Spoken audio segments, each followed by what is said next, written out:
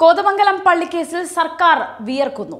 പള്ളി ഏറ്റെടുത്ത് വിധി നടപ്പാക്കാൻ സർക്കാരിന് കഴിയുന്നില്ലെങ്കിൽ കേന്ദ്രസേനയെ ഇറക്കേണ്ടി വരുമെന്ന് ഹൈക്കോടതി. അടിമുടി വിവാദങ്ങളിലും പ്രതിരോധങ്ങളിലും നിൽക്കുന്ന സർക്കാരിന് പുതിയ തലവേദന തന്നെയാണ് ഹൈക്കോടതിയുടെ ഈ പ്രസ്താവന. കോതമംഗലത്തെ പള്ളിക്കേസുമായി ബന്ധപ്പെട്ട കേന്ദ്രസേനയെ വിളിക്കുന്നതിന് സാധ്യത തേടുകയാണ് ഹൈക്കോടതി. ഇതുമായി ബന്ധപ്പെട്ട ഹൈക്കോടതി അസിസ്റ്റന്റ് സോളിസിറ്റർ ജനറലിനോട് ചൊവ്വാഴ്ച ഹാജരാകാനും നിർദ്ദേശം നൽകി.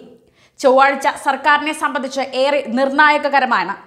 കോതമംഗലം കേസിൽ നിലപാട് അറിയിക്കാതെ മുങ്ങി നടക്കുന്ന സർക്കാരിന് ചൊവ്വാഴ്ച നിലപാട് വ്യക്തമാക്കിയേ മതിയാകൂ. വിധി നടത്തിപ്പിന് കൂടുതൽ സമയം വേണമെന്ന് സർക്കാർ ആവശ്യം കോടതി തള്ളിയിരിക്കുകയാണ്. സർക്കാരിനെതിരെ രൂക്ഷ വിമർശനങ്ങൾ ഉന്നയിച്ച് ഹൈക്കോടതി രംഗത്തെത്തി. ഒന്നെങ്കിൽ സർക്കാർ പോലീസിനെ ഉപയോഗിച്ച് വിധി നടപ്പാക്കുക.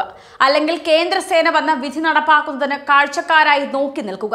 ഈ രണ്ട് മാർഗമാണ് സർക്കാരിന് മുന്നിലുള്ളതെന്നാണ് സർക്കാർ ആവശ്യം തള്ളിക്കൊണ്ട് കോടതി വ്യക്തമാക്കിയത്.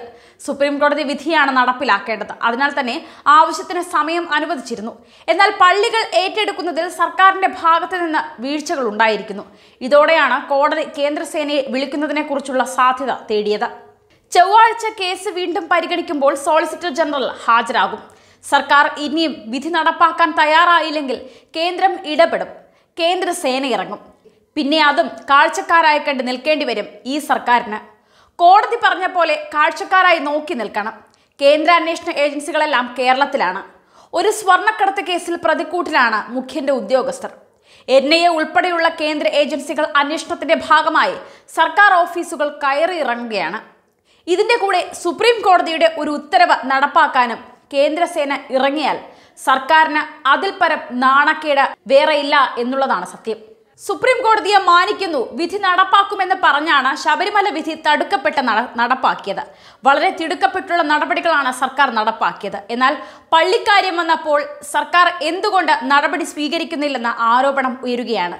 എന്തുകൊണ്ട് സർക്കാരിന് രണ്ട് നിലപാടെന്ന ആക്ഷേപവും സർക്കാർ വോട്ട് ബാങ്ക് ലക്ഷ്യം വെച്ചാണ് പള്ളിത്തർക്കത്തിൽ ഒന്നും മിണ്ടാതെ നിൽക്കുന്നതെന്ന് വലിയ പ്രതിഷേധമുയരുന്നു ശബരിമല വന്നപ്പോൾ പരമോന്നത നീതിപീഠത്തെ മാനിക്കുന്നു. എന്നാൽ പള്ളിക്കാര്യം വന്നപ്പോൾ നീതിപീഠത്തെ മാനിക്കുന്നില്ലേ? ഇത് സർക്കാരിന്റെ നീതിയല്ല നീതികേടാണെന്ന് വിശ്വാസികൾ പറയുന്നു. ശബരിമലയിൽ കാണിച്ച ആർജവം എന്തുകൊണ്ട് പള്ളിക്കാര്യത്തിൽ കാണിക്കുന്നില്ല? രണ്ടിലും രണ്ടു നീതി അത് അംഗീകരിക്കാനാകുന്നതല്ലെന്ന് വിശ്വാസികൾ ഒന്നടങ്കം പറയുന്നു. എന്തായാലും സർക്കാർ പ്രതിരോധത്തിലാണ്. സുപ്രീം കോടതി വിധി നടപ്പാക്കാൻ സർക്കാരിന് സാധിച്ചില്ലെങ്കിൽ കേന്ദ്രസേന ഇറക്കും. അത് സർക്കാരിന്റെ മുഖത്തേൽക്കുന്ന അടി തന്നെയാകും. News desk Karma news